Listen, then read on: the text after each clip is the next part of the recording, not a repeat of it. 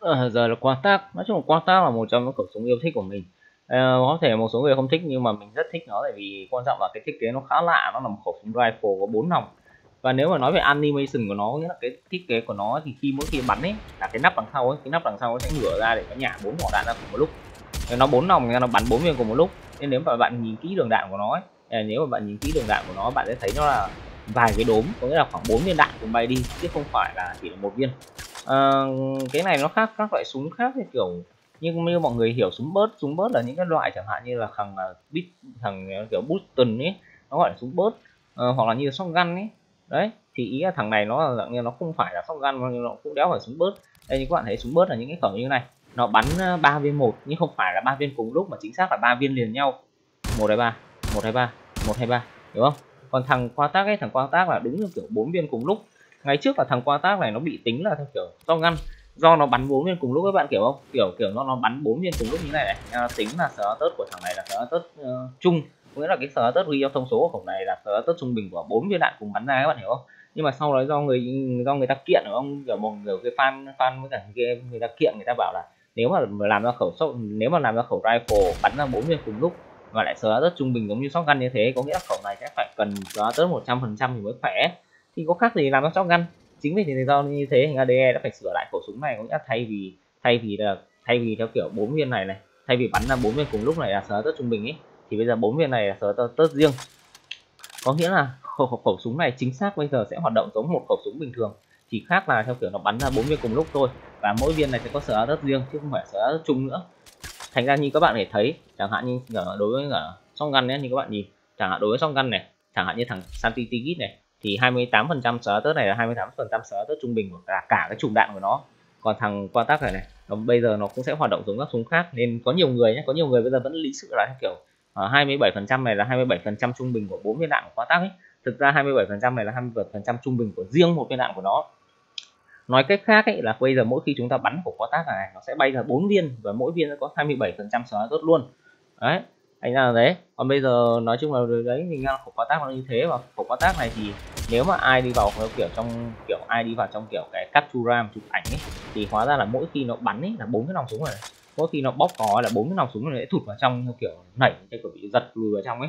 Và sau khi bắn xong là bốn nòng súng lại chui ra thử nhá. Nhưng mà trong game thì ít, ít ai đây như chẳng hạn như tôi đang điều khiển này.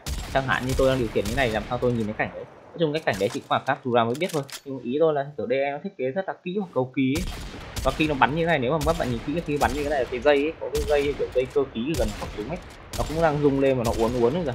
Chung là nó rất nhiều chi tiết nhỏ nhặt. Rồi tôi rất thích những cái thứ nào mà tôi kiểu được chăm chút như thế.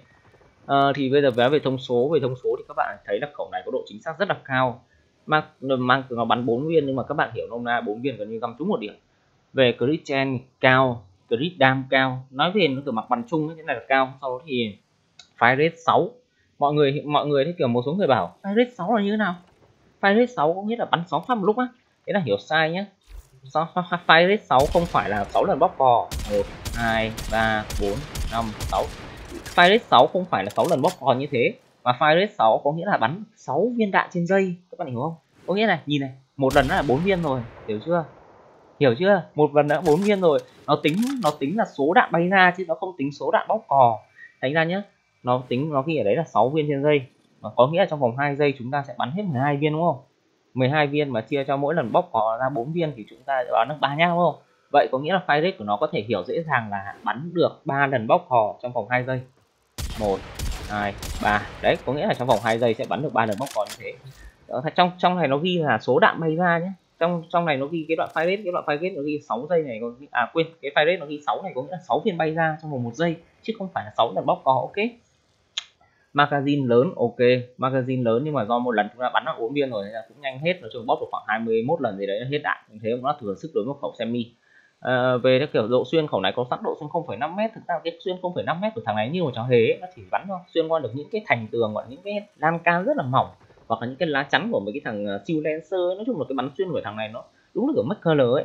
Và theo kiểu ờ, cái lúc mà theo kiểu thằng DE nó nó up up update cái thông số để cho thằng này bắn xuyên 0,5 m bao nhiêu người kêu luôn và nó xuyên, cái đéo thì nó xuyên, nó nhiều, nó xuyên mỏng đến cái độ mà nó không thể xuyên qua xác một thằng lính được. Nó chỉ xuyên qua được cái khiên thôi. Thành ra là cái khẩu này nếu mà nói cái độ xuyên có sẵn của nó thì đủ cho các bạn đục xuyên qua mấy cái thành tường hoặc là mấy cái thành lan can với cả khiên của bọn lính rất là mỏng thôi. Còn nếu mà xuyên qua xác của nó thì không xuyên được. Thành ra sẽ rất là rất là khó có trường hợp bạn bắn xuyên chết hai, ba thằng một lúc. Chỉ cùng lắm vẫn chỉ chết được từng thằng từng thằng một thôi. Với reload thằng này thì không nói làm gì. Nó tớt chen cao. Coi như là mặt bằng chung các bạn có thấy là khẩu này có crit chen cao crit đam tốt và giá rất cao đam bết đam cũng khá, tại vì bết đam đây là bết đam này là bết đam của, cái bết đam này không phải là bết đam của bốn viên đâu nhé. Cái bết đam này là bết đam của một viên, có nghĩa là một lần các bạn bắn ra ấy sẽ là sẽ là bốn lần cái chỗ này cơ. Thấy ra là cái đam của khẩu này nó kiểu, cái khẩu này nói chung là về mọi chỉ số nó rất là tốt. Kiểu kiểu cái nhược điểm duy nhất của khẩu này có thể nhận thấy là tốc bắn chậm. Đấy, thành ra là nhé kiểu crit tốt giá tốt tốt, đam tốt, nói chung là băng đạn tốt, kiểu reload tốt, cái gì cũng tốt, cái nhược điểm duy nhất của nó là bắn chậm. Đây, như các bạn thấy là nhược điểm duy nhất của nó là bắn chậm nhưng mà không phải là chậm quá. Tại vì nhá các bạn thấy recoil nó cao không? Nhất khi các bạn nhắm vào điểm này khi các bạn bắn này chúng nó giật lên thấy chưa? Thành ra nếu mà file hết chậm ấy là sau khi chúng ta bắn xong ấy là cái nòng nó sẽ tự hạ về vị trí đấy bạn hiểu không? Có nghĩa là mỗi mỗi khi chúng ta bắn sau khi chúng ta bắn xong là kiểu do mình bắn chậm mà thành ra cái nòng sẽ trở về vị trí cũ và mang tiếng độ giật cao nhưng mà gần như mình bắn như nào cũng chính xác hiểu không? Đấy. Còn nếu mà cái kiểu fire rate cao ấy, thì sẽ xảy ra tình trạng như này. Đây mình sẽ thử cho các bạn xem cái fire rate cao chẳng hạn như file rate cao chẳng hạn như là bây giờ mình sẽ đút cho các bạn à, ờ, đây spread. Sau mình sẽ đút cả ờ, uh, switching đút cả vibration vào. Ý cho có để tôi cho các bạn xem file rate cao. Đấy, trong trường hợp file rate cao nhé thì mà súng lại độ giật cao đúng không? Thành ra là khi bắn nhanh mà độ giật cao dễ như này. Đấy thành ra là mình khuyên là không nên cái kiểu thành ra mang tiếng là nhiều người nghĩ là khẩu này bắn chậm nên cần phải đút file rate vào để bù cho nó không? Nhưng mà mình nghĩ là chỉ nên đút vừa phải thôi còn đút nhanh quá vào sẽ bị như này. Nghĩa là nó sẽ khiến cho đạn này nó tung kiểu kiểu nghĩa là khẩu súng chưa kịp giật về vị trí cũ. Có nghĩa là sau khi khẩu súng nó giật xong ấy nó chưa kịp đưa về vị trí cũ thì mình đã bắn được tiếp rồi anh nó khiến cho độ giật cứ cộng dồn cộng dồn cộng dồn. Ờ, bây giờ về build nhá. Về build thì um, khẩu qua tác này nói chung là sẽ sử dụng uh, được uh, kiểu heavy caliber. Nhưng mà nói chung là nó sẽ không hay. Tại vì thế mạnh của khoa tác cái này nó là súng semi. Semi nó sẽ dồn được kiểu nó bắn từng nhát đau và từng nhát sẽ dồn hết vào một vị trí. Các bạn hiểu không? Có nghĩa là mỗi viên sẽ dồn hết vào một vị trí để đi kiểu heavy dam. Cái khẩu này nói chung khẩu này đam rất là to. Chính vì đi heavy dam thì nếu mà sử dụng heavy caliber ấy, nó sẽ làm cho khẩu này nó kém chính xác đi. Các kiểu bắn thì các bạn có thể khó thấy đấy, nhưng mình sẽ thử đi ở đây, mình bắn vào cái tường này cho các bạn nhé. Này một cái sẽ là bắn không ngắm. Ok. Đây, khi bắn không ngắm các bạn thấy không? Đạn nhìn rõ cái ánh sáng màu đá nó vẽ là chả liên quan gì đến cái tâm. Còn bây giờ mình sẽ bắn cho các bạn bắn có ngắm nhé. Mình sẽ bắn ra cái góc này nhé. Đấy về mình đi làm với nhỉ. Đấy các bạn thấy chưa? Mang tiếng là bắn có ngắm này. Thành ra nếu mà các bạn sử dụng heavy caliber này thì sẽ mất, nó sẽ mất cái thế mạnh nhất của khẩu súng, đó là độ chính xác. Tại vì độ chính xác của khẩu này nó rất là cao cao ơi là cao và sau khi nhét vào xong nó trừ đi bao nhiêu. Thành ra là mình không thích heavy caliber như khẩu này. Đây Selection Speed Chamber sau lại Vital Steam và Boy Chai, nói chung lại bốn móc cơ bản của dòng vũ khí grid sau đó thì để tận dụng sở tất cao thì tất nhiên là những cái móc 60 phần trăm này sẽ phát huy sở tất rất là khủng rồi. Nhưng các bạn thấy sở tất trung bình uh, sở tất trung bình là 82 phần trăm của một viên đạn. Uh, đây bây giờ sẽ bây giờ sẽ như thế này. Sau thì ờ, như thế đút trên vegan armament. Đấy và còn một slot cuối. Slot cuối nhá. Cái slot cuối này là tùy các loại faction mình đánh. Nếu mà các bạn đánh với cả uh, có đánh với cả amon ấy, thì mình khuyên là nên đút hunter vào. Vì hunter nó sẽ kiểu rút hút máu bên trong do khẩu này nó có grid đều mà. Anh ra là hunter sẽ rút hút máu bên trong cái địch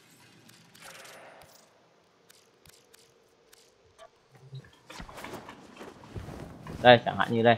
Nếu mà các bạn nếu khi nhét hunter vào khi các bạn bắn như này nó vừa bị coro bắn nhá. Nó vừa bị mình đi ram bên ngoài nhá. Nó vừa bị mình, bị mình đi ram bên ngoài. Thấy chưa? Bị đi ram bên ngoài khá là đau. Bên trong nó thì vừa bị cái coro ấy đốt nữa. Rồi, bắn này thì hơi vướng là sau nhỉ bắn thằng này đi. Đấy các bạn thấy cái slash nó khá là đau nhé có nghĩa là một kiểu một cái như thế có nghĩa là khi mình kiểu bồi nhiều ngáy vào ấy thì nó tích đam vào nhau. Đấy các bạn thấy là khá khá. Và bên ngoài mình vẫn đi đam lớn cho nó. Đấy, bên ngoài một cái clip cũng được cỡ một nghìn hai, nghìn đam là tùy vào cái lượng poro mình có phá được bao nhiêu giáp của nó. Đấy. Thành ra còn nếu mà bắn liên tục thì sẽ được như sau. Đây, bắn liên tục thì sẽ được như này. Nói chung là hơi chậm. Thành ra là mình khẩu này mang tiếng có thể build như thế nhưng mà mình khuyên nên đút một móc fire vào cho nó. Như anh nói, không nên không nên, kiểu, quá nhiều fire nhưng mà cũng phải có một chút fire vì thế khẩu này nhá, nếu mà đây là bằng móc full nam để nấu với bọn ammo grenier nhưng mà kiểu đánh đánh với bọn ammo như grenier với corrupted, nhưng mà nếu mà theo lời khuyên của mình ấy thì mình khuyên là các bạn nên vứt bớt một số đó đi. Thay vì đó, các bạn nên đút trong tâm kiểu nên sử dụng mod stress kiểu à, ai mà có stress thì có thể dùng stress pride hoặc là có thể dùng stress thường. Đây thành cái đút như thế này. Cái mod thread này nó sẽ đưa, nó sẽ đưa tốc bắn của khẩu súng về cái mức, gọi là về cái mức chấp nhận được. Đây, các bạn nhìn nhé phải không? Nó sẽ đưa khẩu súng về cái mức chất động được. Nghĩa là không bị quá nhanh mà không bị quá chậm mà vẫn duy trì được những phát bắn rất là chính xác của cái mạnh của khẩu này đánh ra khẩu này nói chung là khẩu này nếu mà uh, uh, gì nhỉ? Nếu mà theo kiểu khẩu này mà theo kiểu uh, uh, nói về theo kiểu dành cho những người là thích fire rate cao ấy, thì không phải là lựa chọn cho các bạn. Còn nếu mà ai thích một khẩu súng có độ chính xác cao mà bắn từng phát kiểu đam lớn mà kiểu có uy lực mạnh mẽ thì khẩu này là một trong các khẩu rất là đáng sử dụng. Nhá thành ra đây nếu mà giữ nguyên bảng này nhá nếu mà đây trong tôi thích nhá thì bảng này là um, cái gì cái gì ấy?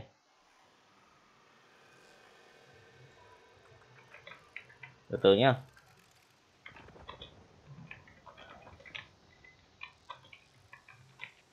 À, thì theo kiểu à, đây đây là bảng này mình sẽ là bảng lựa chọn để mình cái đánh với các loại như ammo có lúc từ như thế bây giờ sang cái bảng đánh với cả infest. Thắng bọn infest thì như đã nói hunter đốt infest không suy nghĩ thì đánh infest đơn giản thôi đánh infest các bạn chỉ cần vứt cái móc kia đi. Và thay vì đó các bạn có thể đút thêm mình cho mình móc đam vào. Chẳng hạn như là các bạn sẽ có cần một chút lửa để kiểu bắn cho bọn nó stun thì các bạn có thể đút một chút đam lửa vào đây. Ok hoặc là nếu mà các bạn muốn được có thêm rất là nhiều đam vào ấy, thì mình nghĩ là các bạn nên thì dùng Villigan Armament ừ. hoặc là dùng theo kiểu Hammer Shot cũng được. Nói chung cái slot này khi đánh với cả bọn infest sẽ rất là cơ động. Một là dùng lửa hoặc là băng để slow hoặc là để tun nó, hoặc là Villigan Armament để tăng multi shot hoặc là cái này vừa tăng tớt vừa tăng crit down đấy, nói chung sẽ có nhiều lựa chọn. Hoặc là đơn giản, cả các bạn nào muốn được full coro thì full coro để nó mạnh, được kiểu coro bonus đam những infest cực to thì có thể đút được kiểu móc 90 nói chung là cái slot này có thể cơ động được ở trong bảng build infest nhá.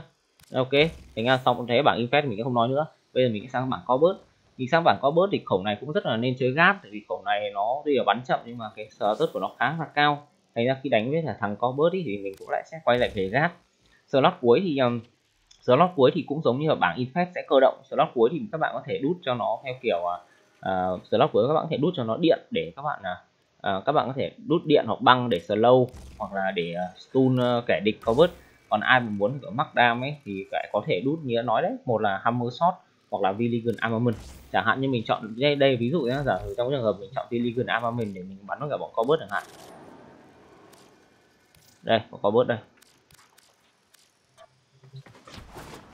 Mình vẫn giữ stress nói chung là khẩu này nên giữ cái stress đấy đây, ờ, mình chọn Villager Armament thì khi có stress nó rất là lợi trong việc camber để mình có thể clear nhiều con quá một lúc. Đấy như các bạn thấy là sau khi clear xong cái đám bên này thì cái đám bên kia cũng bị trọng thương khá là nặng.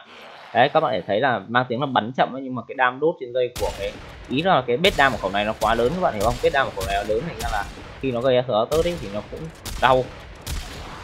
Đấy và bên cạnh đấy thì khẩu này vẫn duy, duy trì được cái đam và từng phát bắn rất là đau thành ra là kẻ địch vẫn bị đi ram từ hai nguồn. Một là bị cái gát đi ram từ bên trong hai là bị mình cái gọi bắn đập trực diện vào mặt nó như này.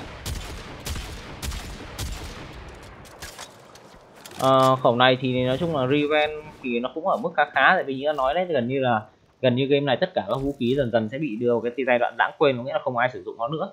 Anh em Riven ở khẩu này hiện giờ nó cũng khá là mạnh. Đấy coi như là xong ba bảng video rồi. Thì bây giờ mình đang mình sẽ quay về cái bảng của mình chẳng hạn hiện giờ mình đang sử dụng cái Riven này nói chung là vẫn như thế. Cái slot này mình chọn nó có điện để nó thay thế cho cái Mining Fox. Có nghĩa là hiện giờ mình móc vào đây để thay thế cho cái uh, thay thế cho cái kia. Và mình dùng cái này thay cho stress thường. Chỉ khác là theo kiểu như mình nghĩ là mình như đã nói mình không sử dụng hunter mình sử dụng móc uh, không sử ở à đâu đây là bảng gì nhỉ? Ừ chỉ khác là theo kiểu mình thay vì mình sử dụng hunter thay vì mình sử dụng hunter để đốt máu trên dây của bọn uh, Ờ, uh, Grenier với cả bọn có ấy thì mình dùng móc lửa để mình stun. Nói chung là cái slot cuối là chúng ta có thể theo kiểu cơ động theo kiểu để sử dụng trong các cái trường hợp mà chúng ta muốn. Đây như hiện giờ là mình dùng cái này để view bảng đánh bọn bọn Amo đây nhưng mình không dùng hunter đây thử xem nó như thế nào. Mình sẽ bắn con ở ngoài cùng trong sau trước đi. Đây như các bạn thể thấy là cái đam nó khá là lớn kiểu đam chay đập vào người nó ấy. đấy như các bạn thấy này vạch máu chừng này mà chỉ cần một phát chết. Đấy thành ra cái khẩu này hiện giờ nó kiểu kiểu nó bản thân nó đã một khẩu súng tốt rồi các bạn hiểu không? Nó chỉ có cái nhược điểm chết tiệt là cái tốc bắn của nó thôi nhưng mà có thể khắc phục được. Thì uh, thành ra mà revenge của nó hiện giờ lại còn đến mức 4 chấm nữa. Nên là nó bắn rất là đau.